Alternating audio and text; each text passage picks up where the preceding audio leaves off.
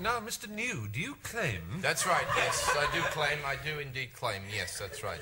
Yes, you claim to be able to bend spoons using psychic energy. Psychic energy, yes, that is the method I have chosen to bend spoons with, yes, that's right. How long have you had this ability? How long exactly? Yes, that's absolutely correct. How long? Yes, indeed. Well, Thank you. You are very sympathetic. Sometimes it's difficult when people are not sympathetic, but you are sympathetic. Thank you.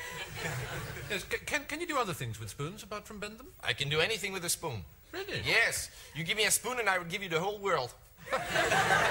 Well, that's an impressive claim, certainly. Thank you. Thank you. No, thank you. Right. Well, um, we have a selection of spoons here. I wonder if you'd care to give us a demonstration. I'm not a freak, you know. Yes, I, I realise Now, that. some people think that I'm some kind of circus freak. I'm not a freak. No, no, I'm sure no one here. Freak!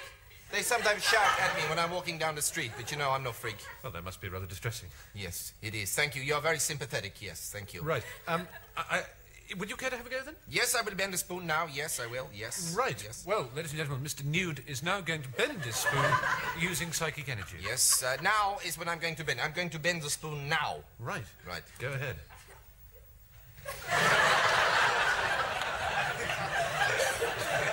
I don't know if your cameras can get in close to see what has happened here, but the spoon is very bent. If I show you an ordinary spoon, you can see that this is now is extremely bent. There you go. Well, the, uh, the spoon is certainly bent. Of course it is. Of course it is bent. I bent it, so of course it is bent. Yes, that much is clear and beyond argument. No, forgive me. I am very tired now. It is very tiring for me to bend spoons, and I've bent too many spoons today. How many spoons? I've have- bent four spoons today. It's too many, you know. I'm not a circus freak. I'm a human being. Yes. Um, forgive me, Mr. New. No, of course. Yes, thank you. No, thank you. But from where I was sitting, it did rather look as if you bent that spoon with your hands. What are you saying? Well, simply that What is this? it's a bent spoon. A bent spoon. Yes, so there. Yeah, but the question is, how did it become bent? You know, I'm not so sure that I like you as much now. I think maybe you're not so sympathetic after all. Maybe. Are you sure it isn't fraud that people shout at you in the street?